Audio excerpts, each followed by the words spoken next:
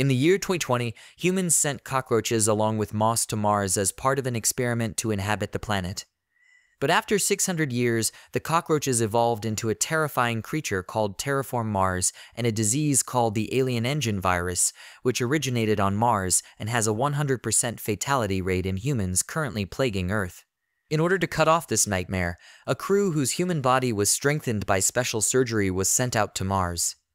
Before they were able to land on Mars, they were invaded by many terraformers, so they split up to ride on escape vessels. The warriors fight hard while fighting against various pastes, including the protagonists Akari Hizamaru and Michelle K. Davis. Captain Kamachi contacted the companions to see if they were in good condition, so Division 2 and Division 1 reported that they were safe, but they were also surrounded by terraformers. The Division 1 vehicles were entered by Terra Formars, and they were able to defend themselves by using guns. Meanwhile, Michelle reports to Captain Kamachi that Akari and herself have both taken their medicine because they need it. The two don't want to let the cockroaches get in their way, but even though Akari is within his limitations, he still continues to fight. Michelle notices that Akari is getting weak when suddenly a cockroach flies up to her and grabs her up, and while in the air, he is punched by cockroaches. Meanwhile, in Division 2, they used a wall shield, but Yako was left outside alone with the cockroaches.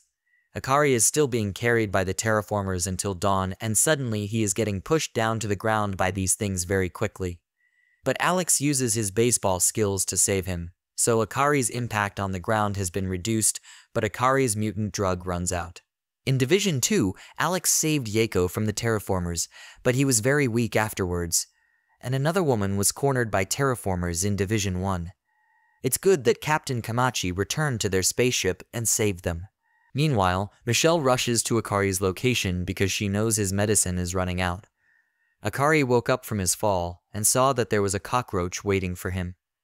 Akari remembers the boy struggling with the alien virus and his childhood friend who died with the virus. He used his mutant powers without the drug. It was only necessary for him to stabilize his mental state. All of his companions were surprised to see the bright light. Akari's look changed as he charged forward toward the hybrid cockroach, trying to fight one-on-one. Akari's companions have arrived to support him as he continues to hit the hard body of the hybrid cockroach, even though it wasn't really hurt, so he just kicked its head. But after that, Akari fell down, and Michelle came to hold him. Once they beat the rest of the enemies, Akari is put to rest while the others regroup. Captain Kamachi and Michelle were planning to go to their main ship to meet other divisions. They said they would reach it in a week because their escape vessels couldn't fly anymore. Michelle tells Captain Kamachi that Adolf's division is probably annihilated. They continue journeying to go to their main ship to meet other divisions. As they travel, Captain Kamachi wonders why there have been no terraformers attacking them in the past six days. Michelle suddenly kicks Kamachi because he wants to train them, while Akari trains himself alone. Meanwhile, on Earth, there is also tension between the executives of their own countries, because, until now, the executive of Division 1 has not been able to send a rescue ship. According to the Division 4 executive, the Division 1 executive intends not to send a rescue because it wants to test the true power of mosaic organ surgery. Because of this, Division 4 executives decided that they would be the only ones in charge of the rescue mission, and have already sent a rescue ship armed with tactical weapons. However, despite everyone's knowledge, what they sent was a battleship for Division 4, and not the rescue ship because they had a different plan. Back on Mars, Division 3 is still inside the pyramid, and they saw here the information about all the crew and spaceships that they used in the mission, which surprised everyone. Michelle and Captain Kamachi were suspicious of the burnt bodies of the entire Division 4, because terraformers are interested in the bodies of human hybrids and do not leave the burnt bodies on the ground. Captain Kamachi does not want to believe it, but there was a traitor division. Meanwhile, Division 4 is still alive, and they are in the main spaceship, and they have already placed mine bombs around it to blow up any division that goes there. They were surrounded by many terraformers, so they were forced to use the anti-terraformer cannon, which will only target things that move due to the motion sensor, so they are not allowed to move when it is activated. Captain Kamachi has spotted Annex 1, but they are forced to stop because they saw a radio tower there. And through Jared's powerful echolocation, there are people in front of Annex 1, and they also learned that there are mines around the spaceship. Captain Kamachi immediately ordered Erica to call the Earth. When Liu San finds out that Captain Kamachi is already there, they activate the radio tower to block communication from Earth. Because of this, Liu San called Kamachi's group and revealed they were the ones who brought the six terraformers on board before they even arrived on Mars. Liu San also warns them that if they don't surrender Akari and Michelle, they will blow up their ship with a powerful missile. Liu San wants the two of them to become guinea pigs because of their unique abilities. The two are on their way, but Captain Kamachi stopped them because if they leave the vehicle, Liu San will definitely blow them up. Just then, some terraformers arrived that had slingshots, so Leo activated the shield of the spaceship against their rocks. According to Liu San, there is no chance that they will be hit by any weapon because of the very high technology of their equipment. However, with the help of Keiji's clear eyes, Alex suddenly destroyed their apparatus, so the shield was gone for a moment. Then Kanoko used lightning speed to bring Captain Kamachi there before the shield came back. The enemies were surprised to suddenly see Captain Kamachi, and they told them that their traitorous act had exposed the rest of the crew to mortal danger. The Chinese division had begun attacking Captain Kamachi, and Jet punched him with his power like an impulse, sending him flying. Alex threw the ball again, but it was absorbed by the opponent's machine, and this is when Captain Kamachi rushed at them and punched them one by one until he was close to Captain Liu San. Then they go face to face with each other. Using the power of the giant hornet, Captain Kamachi managed to put a huge spike on Liu's body and face. Captain Liu San didn't expect it, he just thought that Captain Kamachi was an amateur. The SO's message was received by Division 3 under the leadership of Captain Asimov, and because of their plan to further strengthen their alliance with other countries, they will go to the one who sent the message that they are Captain Kamachi, and there is another mission that Asimov will ask Alexander to do. Meanwhile, Captain Kamachi tells everyone that he has injected a painful venom into Liu San's body. Kamachi was surprised to learn that Liu San was still in good condition, and Liu San ordered his companions to shoot Kamachi's legs. Then, he uses the mutant drug inside his body to transform into the blue-ringed octopus, which can heal itself rapidly. As a venom, just a single octopus can kill seven humans, but can also be used as a painkiller. He tells his crew that he wants Captain Kamachi's wound tended to, and they will keep him as a hostage. However, Captain Kamachi tells him he has no worth as a hostage. They found out that Captain Kamachi companions had already escaped, but they didn't know who was inside the ship. Captain Kamachi revealed that Michelle and Akari are the only ones piloting Unit 1 and Unit 2. They're not coming back, no matter how much they broadcast Kamachi's screams. Suddenly, they blast him with the anti-terraformer cannon, leaving the captain laying on the ground. But they realized that the only targets for the cannon should be the ones moving because of its motion sensor.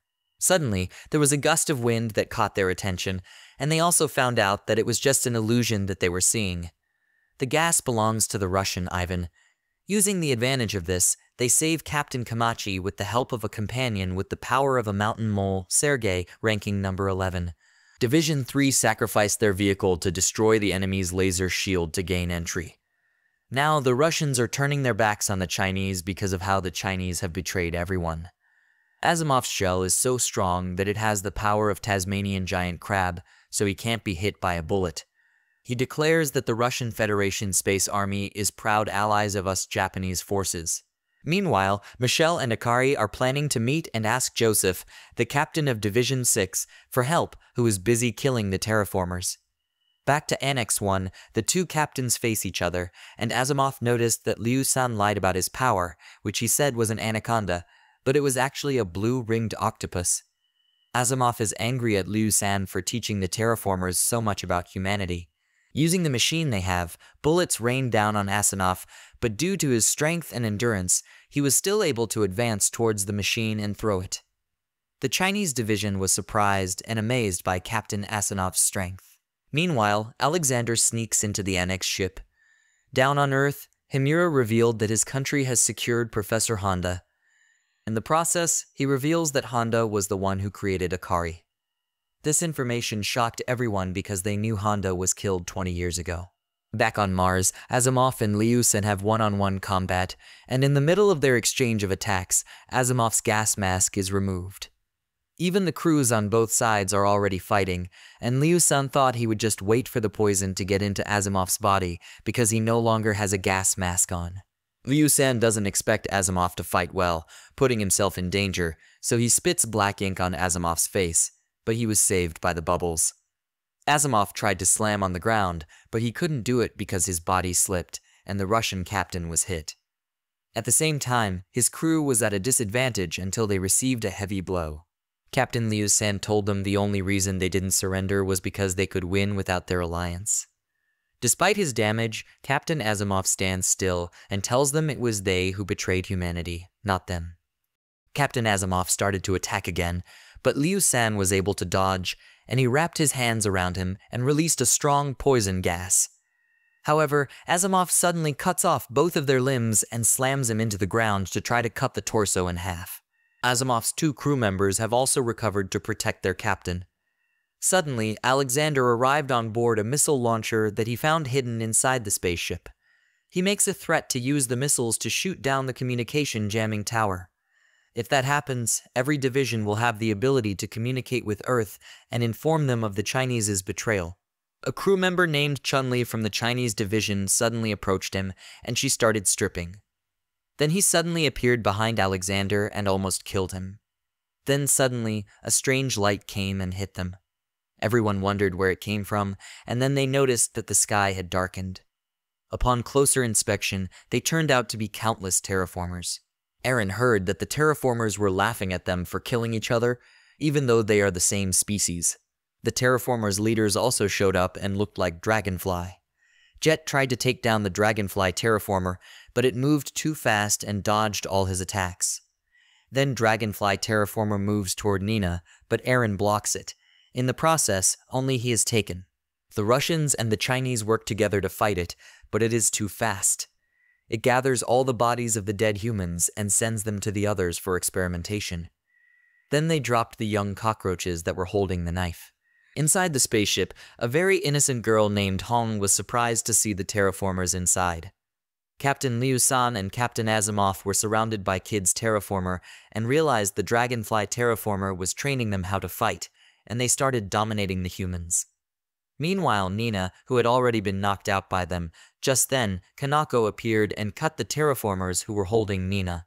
Ivan also comes with her. Even though this is not the plan, his mission is to keep the wounded safe.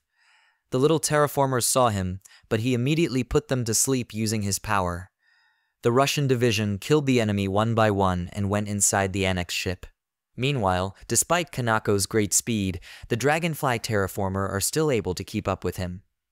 The other terraformer also followed him, so he took out his blade and cut everything in his path. Kanako manages to escape and wonders why he isn't chased by the terraformers anymore. All of a sudden, it returned to the annex ship, where the cockroaches are now gathering. The girl earlier, Hong, appeared on top of the annex ship, and the terraformers started dropping. Meanwhile, Asimov saw the Chinese wear full body armor. He realized Hong's power was a bacteria, so they needed to get away from here immediately. They started running, but Alexander was still standing and looked like he was planning something. The Chinese division sent a rocket missile to Asimov, but with the help of Anastasia, she blocked it and they managed to escape under the ground of Sergei, a mountain mole. Alexander chose to be left behind to finish off Hong for the sake of his wife, who has an alien engine virus, because he wanted his companions to succeed in making a vaccine. Liu San puts on a suit and mask so that they won't die from Hong's bacteria, and they didn't realize that one of them was a trap that exploded, but they found out that Alexander, who did this, was the only one who was ready to die just to defeat them. Let's look back at when Alexander had hair he fell in love with a girl named Gina. Despite being rejected so many times, Alexander kept pushing her. She says that her father would not allow it. So Alexander asks to meet her father, and her father is the scary General Asimov. In their first meeting ever with Asimov, he punches him out of the house. Every time he came home, he was always punched in the face, and Gina always cut his hair down to look respectable until he became bald. Gina gets angry, so she and her mother beat up Asimov and demand that he give Alexander a chance. Soon after, Alexander and Gina get married. Gina gets pregnant, but one day she gets infected with the alien virus. This is the reason why Asimov and him took the risk of going to Mars to make vaccines. Back to the present, Alexander killed each bodyguard one by one until he finally cornered Hong in an empty room. He hesitates because it's only a child, but he loves his wife too much and will do anything to save them. Then suddenly, the Chinese came to save her, blocking his blade. Burke took off his mask only to find Alexander, even if it cost him inhaling the bacteria. Chun-Li used her invincible power to beat up Alexander until she threw him against the wall. But Alexander was willing to save his wife and create a vaccine. He injects four doses of the drugs and grabs Chun-Li by the neck, but Hong grabs him and begs him not to kill Chun-Li. Jet revealed that Alexander was already dead. Captain Liu Sen takes time to appreciate Alexander's resolve and warrior spirit. The battle that cannot be given begins between those who abandoned their lives after returning to Earth and those who want to protect them even if they are dead. Later on, Liu Sen contacts Akari and Michelle to force them to surrender, or else they will be hit by a missile. Akari is pissed off about this, but Michelle is just relaxed because they have more important things to do. In the middle of the journey, their ship suddenly stops, and they discover it is a hybrid terraformer lifted with only one hand, and at a glance, Michelle realized that the hybrid terraformers have the same powers as her father, just like a Paraponera ant that has a lot of power. Elsewhere, on the escape vessel of Division 3, Captain Kamachi wakes up, and Captain Asimov asks for forgiveness for the ridiculous moves he made, but Captain Kamachi still thanked him for saving his life. Asimov is still angry because of Alexander's suicide mission, so no matter what happens, he has to succeed in developing a vaccine against the alien engine virus. Then, Asimov quickly goes over everything that happened and the specifics of the capabilities of the Chinese division with him, especially with the humanoid bioweapon. Kamachi said that they need to find Akari and Michelle before Division 4, and aside from Division 4, the terraformers also wanted to kidnap the two.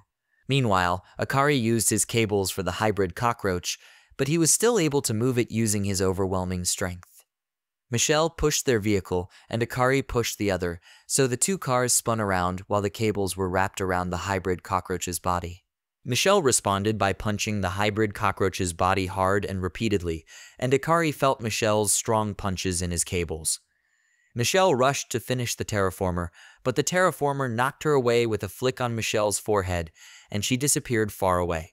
Akari saw that the body of the terraformer was already cracked by Michelle's punches, but it was moving again, so Akari covered it with cables.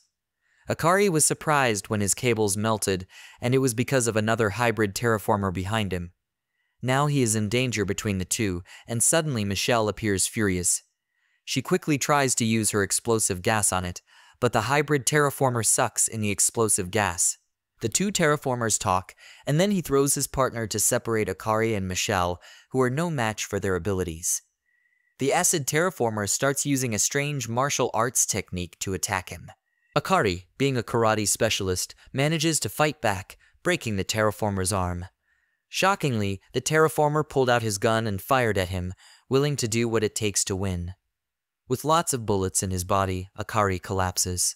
When Yeko saw that Akari was already defeated, he asked for help from the Chinese division because when Akari and Michelle died, she would be the next to be killed by the terraformers. Liu San doesn't want the terraformers to get their bodies, so they send a missile to the exact location where Akari and Michelle are, but Liu San doesn't know that it is also included in their plan. Alex is waiting for the missile because he will destroy it, and its smoke will serve as a signal for Captain Joseph.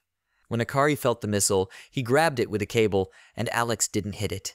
So the missile went straight to their ship, but it didn't explode there, and you can see that the bullets didn't hit Akari's body. They were about to launch the second missile, but Liu San wonders why the first missile didn't explode. It was discovered that Alexander removed the powder from the missiles and put something else. It was a special weapon that Alexander sacrificed himself to give it to Akari. The anti-terraformer Vibro Ninja Blade is known as Hizamaru. It's now a proper showdown between him and the Acid Terraformer. Acid Terraformer starts using his own club to throw powerful streams of rocks at him. When the acid terraformer saw that Akari was getting weaker, he thought this was his chance to kill him.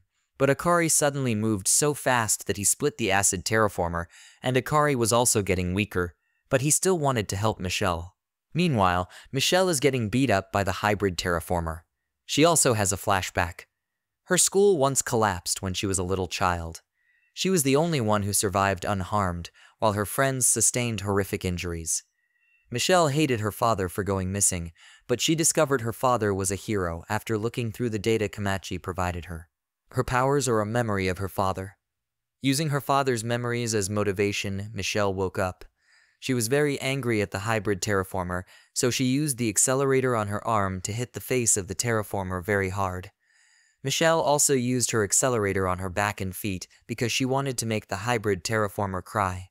Unfortunately, the terraformer hybrid used the broken leg to kick Michelle in the stomach, causing her to fall, but she still tried to stand up. The terraformer hybrid wants to finish her, but Alex arrives just in time to break the weapon. Then Michelle punched the cockroach, but her bones also started getting cracked while she was trying to put down the terraformer. Michelle even pinched its head, and using the accelerator, she put the terraformer's face on the ground. But the terraformer is still standing, and Michelle has already accepted that she will be dying. Suddenly, Akari's cables and swords arrive to save her. Akari can no longer stand, but using his cables, he is able to move until the hybrid terraformer finally dies. While lying down, Akari remembers that Michelle's birthday is today. But Michelle reminds him that they need to find Division 6's leader, Joseph. While they can still move, they wonder why Alex and Yiko are not here yet, and they are surprised to see the Chinese division arrive to take them. Earlier, Jilin shot Alex in the leg before going to capture Akari and Michelle. Then Jilin uses his net to capture the two of them, and he starts taking them back to the annex ship. They also plan to get the 200 terraformer samples that were captured by the US Japanese division. Jilin also wants to know where the other crew members of Divisions 1 and 2 are, but Akari lies that they are all dead. Jilin doesn't believe it and shoots his ear. Jilin reports to Captain Liu Sen that he has captured Akari and Michelle, along with two crew members. Meanwhile, Akari's teammates are digging underground towards the annex ship. They know their location because of Jared's echolocation, while Peggy was digging to the annex. According to Wolf, who has powers like a hammerhead shark, they can't go to the top of the ground because there are still bacteria left. So they wait until dawn to destroy the signal jamming tower and tell everyone on Earth that the Chinese have betrayed them. Meanwhile, Jilin is on his way to their base when suddenly a giant net stops them. So Jilin puts it on autopilot and goes out to protect the ship from a horde of terraformers coming their way. All he has is that one blade, and he fights without using any mutant powers. Since there are thousands of terraformers coming at them, Jilin throws Alex and Yako away as a distraction. Alex saved Yako from falling, and he also ran out of medicine to activate his power. Alex made him run away, but Yako chose to protect him. She uses the medicine and reveals her own mutation, the striped skunk. After she released the stinky smell, the terraformers stopped moving. While she was carrying Alex to escape, Yako was suddenly shot at her legs by a hybrid terraformer with the power to shoot highly compressed water. The terraformer also shoots Jilan's arm and wonders where they got the ability. Meanwhile, Yako falls down in pain. Now that Yako is injured and cannot move, the terraformers step forward and kick Alex until he bleeds. A terraformer is about to strike the two of them. However, the terraformer drops dead. Coming to their rescue is the number one ranked warrior, Joseph, the leader of the 6th Division. He tells them that they will be okay because the number one ranking is here. Before anything else, Joseph gave the medicine to Alex and Yako to speed up their recovery. When the terraformers sensed that Joseph was strong, they rushed towards him, but Joseph was confident in his ability and immediately sliced them one by one. Even if the number one warrior was alone, he was not afraid of the many terraformers. After slicing some terraformers, three of them ride the vehicle to catch up to Akari and Michelle. Joseph was featured on TV with the nickname Speedy Joe, a popular 17 year old high school senior who earned a gold medal. It was a competition known as the King of the Athletes. His powers and base surgery are unknown, but he is powerful enough to take on enough terraformers to make a mountain-sized pile out of their bodies without transforming. His strength, speed, and endurance are the result of 600 years of selective breeding on humans conducted by the Newton clan. They quickly catch up with Jilan's ship while he slices the terraformers along the way. Joseph was able to make his vehicle land inside the ship, coming face to face with Jilan. Even though Jilan is facing the number one warrior on the planet Mars, he will still finish the mission. Joseph and Jilan go all out against each other while also fighting the terraformers, which are attacking them at the same time. Joseph suddenly dropped his sword and stepped back, which Jilan took. Michelle was surprised by what Joseph did. Then Jilin was suddenly shot by a hybrid terraformer with highly compressed water. Joseph explains that the terraformer have a priority list for their targets, and one of those targets is holding a weapon. Jilin needed to take medicine, so he planned to kick Michelle out to distract his enemies, but Joseph got furious with him because he has a crush on Michelle. The number one fighter finished him off, breaking his leg and then throwing him overboard. Jilin is immediately killed by a horde of terraformers. The hybrid terraformer continue attacking from a distance. Michelle asks what happened to his crew, and Joseph responds that the water bullet power belonged to one of his members. He revealed that before they could get out of their ship, they were surrounded by terraformers, so he used swarming pheromones to get the huge army of them to come after him. He thought he had gotten all the terraformers in the area, meaning that his crew members are all probably dead. While Joseph drives the ship, and Yako gives the drug to Michelle and Akari. Joseph was confident that they would succeed in the mission because when they returned to Earth, he wanted to marry Michelle, who was surprised by this. Michelle wishes she could tell him to shut up, but she can't do that since Joseph literally just saved her and her teammates' lives, so she agrees to have lunch with him once they get back on Earth. Meanwhile, Wolf felt the departure of Liusen's men, who were on their way to start the mission, when suddenly Jilin came to the place where they were hiding. Jilin promptly shoots the members. So, Keiji and Marcos take their drugs and quickly engage him in battle. Marcos acted quickly and defeated him, cracking his neck. But behind him is another Jilin, who is holding Peggy hostage. Then Peggy released a spike from behind, and all of them ran to get inside the spaceship while Marcos was facing Jilin alone. Unfortunately, Peggy was caught by the Dragonfly terraformer and was thrown into many terraformers. Peggy! 刑事止まんなあんたには目的があるでしょ走れみんな負けないでね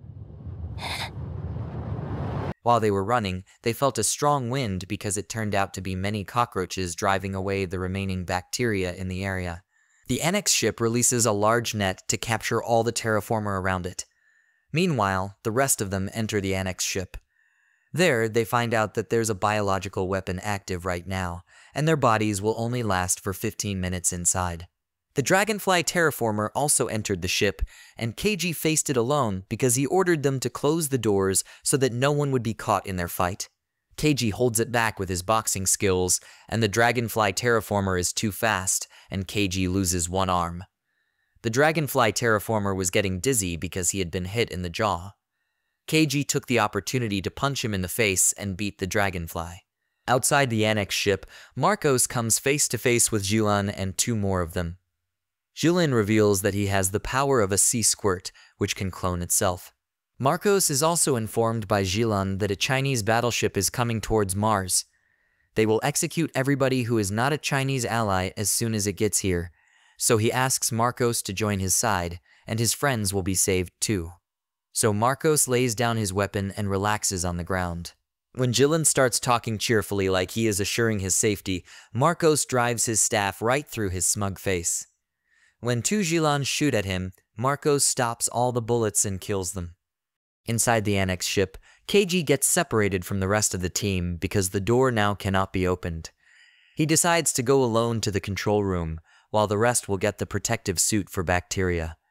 Before he went, he regenerated his arm and left. As his teammates searched for the protective armor, they were surprised to find that the other terraformers were also inside and wearing protective suits. And they even destroyed the remaining suits and masks so they could no longer be used. They also found many clones of Jilin, which they destroyed. The engineers ran, and the terraformers followed them. But instead of attacking them, they immediately went for Jilin and Hong, Jilin immediately responded to the punch and ordered Hong to hide inside. But the terraformer uses the fire extinguisher to keep the door from closing. So, Jilin holds them back, despite being 2v1. He tried to protect her, but one of the terraformer turned out to be a hybrid. He was shot in the back, but Hong helped him by cutting whatever that thing was. Because of the hole in Jila's suit, Hong doesn't want to use his power because Jilan will also die.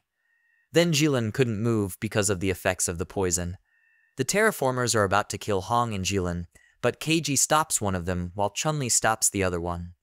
Despite Chun-Li's invisibility, Keiji can still see him, so he ordered the woman to put on her clothes. Because Keiji is their enemy, Chun-Li didn't let it pass and immediately punched it hard. Keiji, being a gentleman, doesn't want to hit a woman, even if she hits him. So when Chun-Li beats him up, he does not hit back. He gets hurt terribly, but Keiji keeps coming back. While Keiji is holding them, the rest of his team members reach the control room using Erika's powers just like a gecko, with six minutes left for the bacteria to start working on them. Meanwhile, Liu San and three Jilin clones are still looking for Michelle and Akari. On the other hand, Joseph decides to find Liu San because he knows that Liu San will start firing long-range missiles at Michelle and Akari if Liu San fails to capture them. Captain Kamachi is also fighting the terraformers, and they realized all the terraformers were coming from the direction of Annex, who is escaping from the bacteria. Inside the Annex, Wolf remains motivated even with only six minutes left before their bodies are completely destroyed by the bacteria. Even if they are non-combatant, engineering skills are high. They are about to hack the spaceship system, but there is also a terraformer inside the control room that punches the screen. Hearing this outside, Chun-Li realizes that the engineers are already inside. Keiji immediately went in to save the fellow engineers. Chun-Li tries to stop their hacking, so Keiji holds her down. The terraformer suddenly tries to kill Hong, but unexpectedly, Keiji saves his life anyway. There are only three minutes left for the engineers, but because of what happened, they need to start hacking again, or they won't make it. Keiji had to make a decision, so he decided to break the floor to save his friends. They all survive the fall using one of the members' webs, and because of this, they can't do the mission. But the terraformer is still alive, and Chun-Li and Keiji were forced to help each other to kill the terraformer, but it seems to have had no effect. The terraformer has the power of a ratel, which is capable of absorbing and distributing any impact.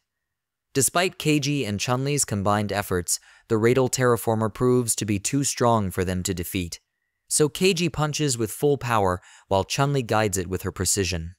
They kill the Ratel, but the Force knocks them both out as well. The 15 minutes were over, and Wolf regrets not being able to hack the tower, and now the bacteria will start taking effect. It's a good thing that Amelia was left in the control room, and despite the poison that is slowly killing her, Amelia is still not giving up. Meanwhile, on Earth, Herma is still waiting to contact them and believes they will survive on Mars. While Amelia is doing her best to hack into the system, Akari and Michelle are fending off a lot of terraformers again.